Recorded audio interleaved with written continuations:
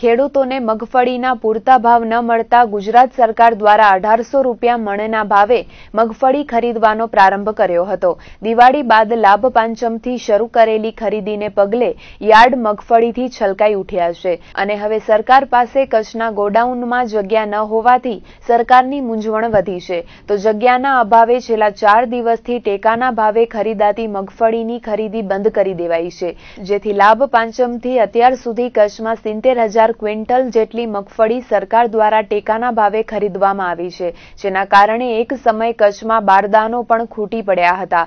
જો ત્યારબાદ બારદાનોનો જથ્થો તો આવ્યો, પરંતુ હવે મગફળીને સંગ્રહ કરવા માટેના ગોડાઉનો હાઉસફુલ થઈ જતા છેલ્લા ચાર દિવસથી મગફળીની ખરીદી ઠપ થઈ ગઈ છે.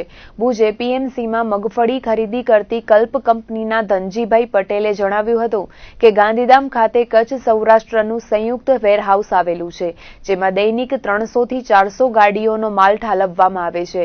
જોકે હવે આ વેરહાઉસ પણ ફૂલ થઈ જતા જગ્યાના અભાવે શુક્રવારથી ખરીદી બંધ કરવામાં આવી છે. ત્યારે હવે ખેડૂતોની માંગ અને વૈકલ્પિક વ્યવસ્થાના ભાગરૂપે આદિપુર ખાતે સંભવત આવતીકાલથી કચ્છ માટેનું અલગ વેરહાઉસ શરૂ કરાય તેવી શક્યતા છે.